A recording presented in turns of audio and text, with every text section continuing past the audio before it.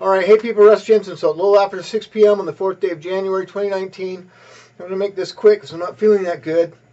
Um, we left off last night talking a little bit about uh, using alternative sources to validate Karatbars and what we're doing, and that's very true. And it goes back also to helping us understand the process of multiple exposures. That's really what it requires for people to become be able to it, part of their decision making process, whether or not it's to become a customer or join us as a, a team member, business opportunity, or a combination of both of those things. Because have to remember, once again, really what we're all about is educating and helping people understand.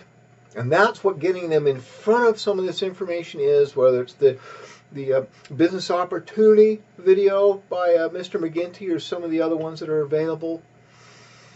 Karatbars' corporate videos, which explain a lot about the uh, their ecosystem, their different products. Uh, outside uh, articles, links to information about gold, gold markets, you know what's happening, cryptocurrency, those kinds of things. So. Um, it's an understanding then of multiple exposures, maybe from multiple uh, uh, information sources that can be helpful for us in uh, in cultivating and developing longer term relationships. But the bottom line is education and understanding, because the bigger picture is bringing in and establishing this new exchange system, the paradigm shift that's happening. So. Once again, we have our uh, CryptoCoinInfo.net.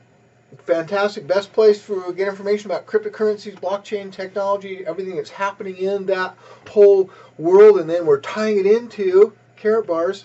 So, go over to that page, take a look at it, put a link up here, and uh, I will come back and talk with everybody uh, tomorrow. Have a great night. Love you.